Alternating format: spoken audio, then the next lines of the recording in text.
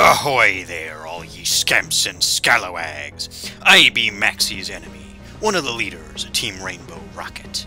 I received a letter of marque issued by Giovanni himself that I am to take command of this here YouTube channel during our plundering of Bulbagarden. And so, I'll hoist up the Jolly Roger and tell ye all the tale of me crew, Team Aqua. All life depends on the sea, but with our selfish extravagance, humanity befouled and polluted our great oceans, destroying our most precious resource. It be my goal, and the goal of me mateys, to restore the world to a more natural state, for the sake of the Pokemon suffering, because us humans have been selfishly blighting and squandering our seas. I cannot forgive those who have caused this damage, and me buckos and I intend to send them all to Davy Jones' locker.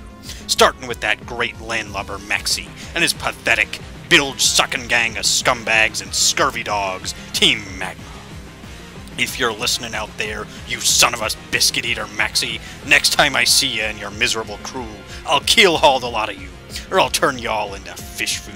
Shiver me timbers, I hate that lily-livered, horn-swoggling rapscallion. Anyway there, scamps, thanks for listening to this old sea dog's tale.